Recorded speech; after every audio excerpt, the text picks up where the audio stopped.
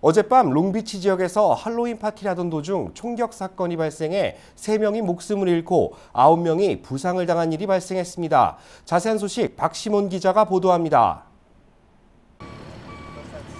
롱비치의 한 가정집에서 총기 사건이 발생해 12명의 사상자가 발생했습니다.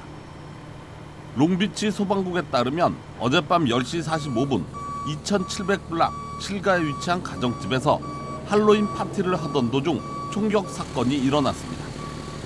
다운타운에서 동쪽으로 2마일 떨어진 장소며 총격 현장은 가정집과 비즈니스가 섞여 있는 곳입니다. 현장에는 할로윈 커스튬을 하고 있는 사람들이 있었으며 구조대원들은 총격 사건이 일어난 주택 바로 옆에 있는 네일샵의 마당에서 총상을 입은 사람들을 치료했습니다.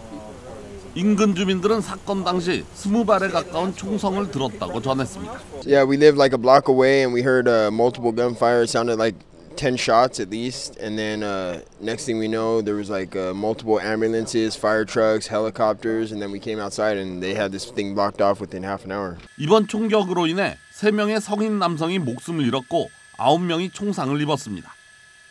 7명의 여성과 2명의 남성이 총상을 입은 것으로 파악됐는데 이중 5명은 목숨이 위태로운 것으로 알려졌습니다. 범행 동기는 파악되지 않은 가운데 용의자는 도주한 상태입니다.